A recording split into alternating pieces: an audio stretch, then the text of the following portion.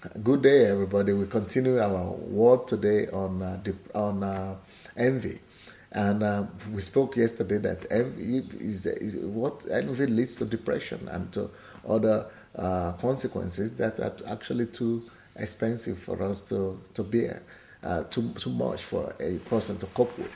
Um, uh, you see, envy always works in two ways. One of the way, ways that envy works is that it targets other people.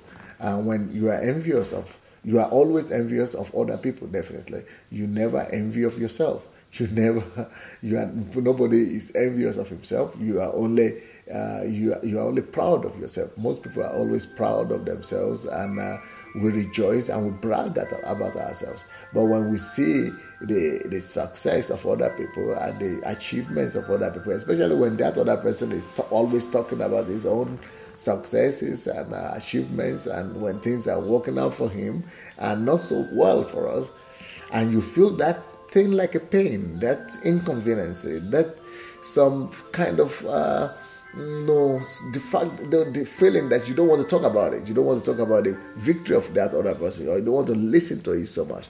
Well, that is an indication that there is an envy there. Because envy is always targeting another person. And uh, the second aspect of envy is that when you target another person, you wound yourself. You see, envy is like uh, shooting at another person.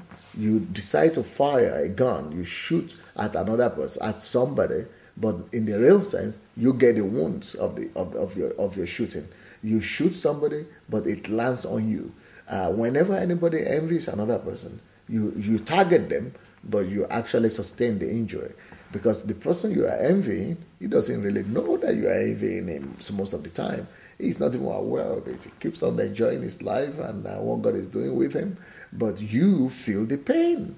You feel the pain because you feel it, the depression, the lack of joy, uh, the fact that uh, uh, you know he's doing well and he's not working out for you. So envy kills the envier, not the person he's envying.